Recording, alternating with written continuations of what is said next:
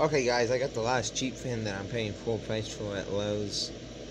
Um, I possibly might get the three foot witch, but I'm not too sure. Probably not.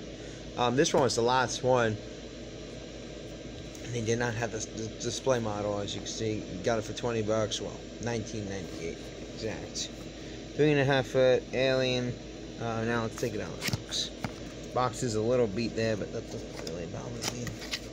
Got something like that, and this is the last one too. And I think he's wiping out too. Alright, here's the and all the shit's down there. Here's the stuff, the stakes. Um, because this one's got an adapter and shit. I'm gonna put the adapter on and plug it in, and we'll get back to the video.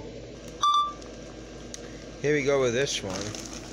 And yes, the tree's still up. If you ever see my video, check it out. Oh, cool. This one actually has two LEDs. That's great.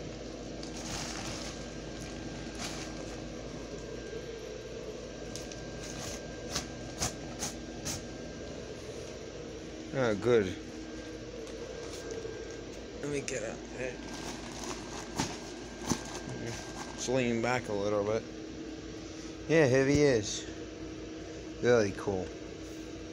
Definitely something different for my display, which I'm glad I got. That's one reason why I got, you know, something different that we don't see. Uh, has two LEDs. Actually, lights up really, really good. Typically, you just see it with one, but I'm glad this one has two. 20 bucks. I think is good for this one. Definitely recommend it if you want it.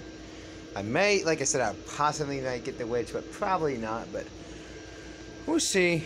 If I don't want to be cheap, I'll get it. Alright, guys. Thanks for watching and bye.